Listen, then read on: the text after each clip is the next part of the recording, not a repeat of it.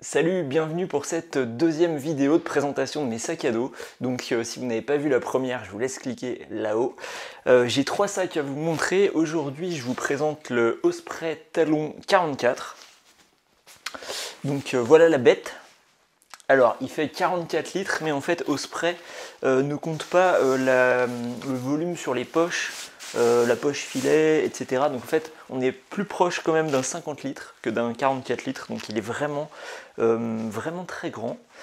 Et euh, je l'ai principalement utilisé moi pour des bivouacs hivernaux où j'avais besoin de pas mal de matériel et vous allez voir que ce sac par rapport aux autres a certains avantages. Donc pour moi un des avantages c'est le fait de pouvoir fixer très facilement un matelas en mousse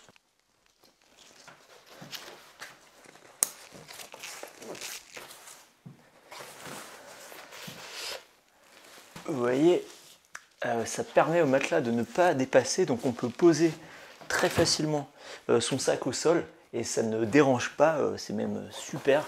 Parce que voilà, sur les sacs, on peut bricoler hein, s'il n'y a, pas de, sangle, mais souvent on va se retrouver avec son matelas qui est en dessous et c'est pas très pratique. Autre chose pour le matériel hivernal, la pelle. Donc là, le gros avantage c'est de pouvoir la glisser la glisser ici dans la poche.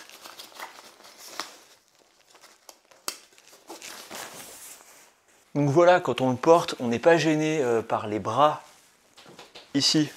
Donc on peut, quand on marche avec des bâtons, euh, c'est très agréable d'avoir toute sa mobilité et de ne pas cogner contre le matelas. Au niveau du confort de portage, je suis monté à une douzaine de kilos et c'était vraiment très très agréable. Au niveau de l'armature, c'est un sac qui a une armature vraiment euh, très fine et très légère. C'est un fil qui fait un fil métal qui fait tout le, tout le tour. Euh, il y a un dos qui est un petit peu aéré, mais bon voilà, c'est pas non plus un dos avec un filet tendu, hein. donc on est vraiment très proche euh, du dos. Comme sur celui que je vous ai montré en premier, vous avez ici contre le dos une grande poche pour mettre bah, votre, votre poche à eau. Donc vraiment très pratique également. le chapeau Il a un gros avantage, c'est que vous pouvez l'agrandir.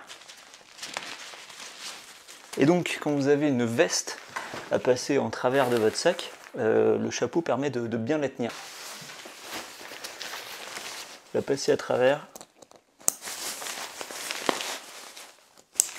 Donc voilà, le fait de pouvoir euh, lever le chapeau à l'arrière et donc forcément euh, à l'avant, et ben ça vous permet de mettre euh, du matériel par-dessus.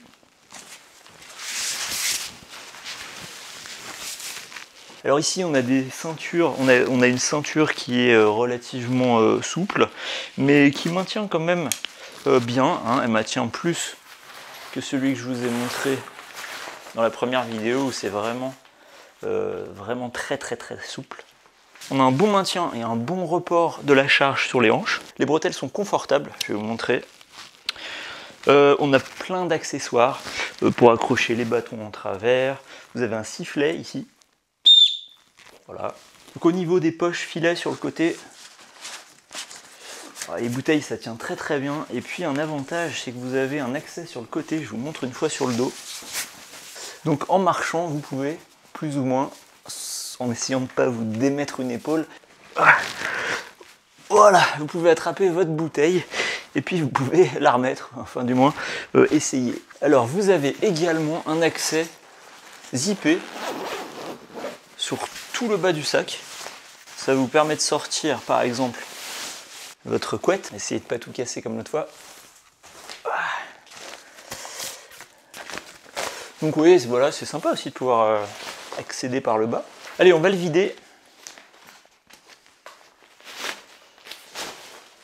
Moment de vérité, on va passer à la pesée. 1 kg et 75 grammes, voilà, c'est précis. Donc pour gagner du poids sur ce sac, on peut enlever euh, le rabat sommital. Donc vous avez un sac qui se ferme simplement sur le haut comme ça. Alors voilà, c'est plus protégé hein, des éléments extérieurs, de la pluie, mais vous gagnez, euh, vous gagnez des grammes. Donc voilà, pour à peu près 1 kg, vous avez un sac d'une cinquantaine de litres de contenance qui est très bien accessoirisé euh, certains diront même trop accessoirisé, hein, qu'on peut gagner en enlevant les sangles, etc. Mais voilà, moi je le trouve très pratique euh, l'hiver, hein, pour fixer tous les accessoires euh, de l'hiver. Alors je vais vous montrer un peu plus en détail la mousse.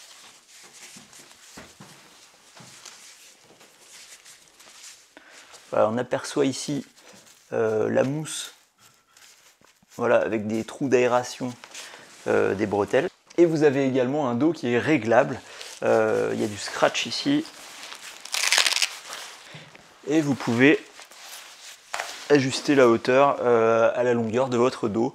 Voilà, sachant que chez Osprey, dans tous les cas, il y a plusieurs tailles de dos pour les sacs. Ici, on a soit du SM, soit du ML. Tout ça dépend de la longueur de votre dos. Tout est très bien expliqué sur plein de sites internet. Je vous mets un lien d'ailleurs dans la description. Voilà, donc c'est pas le sac le plus léger, mais franchement, euh, je l'ai trouvé très bien, euh, très adapté pour des bivouacs l'hiver. Et il sera probablement très adapté aussi pour l'été, bien qu'un petit peu lourd euh, parce qu'on n'aura pas forcément besoin d'attacher un matelas en mousse en dessous, euh, pas besoin forcément de toute cette accessoirisation. Donc il me reste à vous présenter ce dernier sac, un Berghaus Fast Hike 45 cette fois. Donc euh, celui-ci c'était le 32, celui-là fait 44. Et celui-là c'est un 45, donc voilà, on va le découvrir dans une vidéo dans les prochains jours. Merci, posez-moi vos questions dans les commentaires. Abonnez-vous, cliquez sur la cloche, ça vous permettra de savoir quand je publierai la troisième vidéo. Voilà, je vous souhaite une bonne journée et à bientôt